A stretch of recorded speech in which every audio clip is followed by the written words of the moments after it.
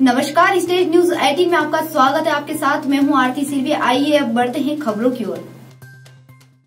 परासिया तहसील के अंतर्गत ग्राम पंचायत मायावाड़ी में भतीजे ने चाचा को जमीनी विवाद के चलते उतारा मौत के घाट। सात एकड़ ज़मीन को लेकर चाचा भतीजे में विवाद चल रहा था। माँ की मृत्यु के उपरांत ज़मीन का बंटवारा नहीं हुआ था। अटल सिंह का भतीजा कमलेश ज़मीन बंटवारे के लिए कई दिन से अपने चाचा अटल सिंह को बोल रहा था और अटल सिंह का कहना था कि माँ की मृत्यु का गंगा पूजा हो जाए। फिर बंटवारा करेंगे इसी बात को लेकर आए दिन जमीनी विवाद होता था। इसी बात को लेकर कमलेश ने अटल के सीने और पेट पर लात घूसे से मारा, जिसको लेकर अटल को हॉस्पिटल में भर्ती कराया गया। अटल की मृत्यु अस्पताल में ही हुई। मौके पर पुलिस पहुंचकर मर कायम कर विवेचना में लिया, शव को पोस्टमार्टम के लिए भेज दिया गया।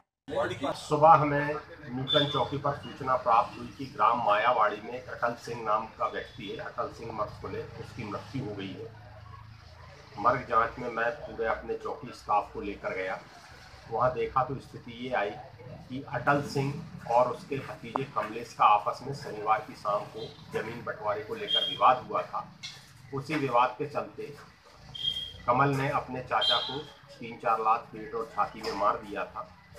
कल रविवार करीबन 12 से 2 बजे के बीच में अटल की मृत्यु हो गई।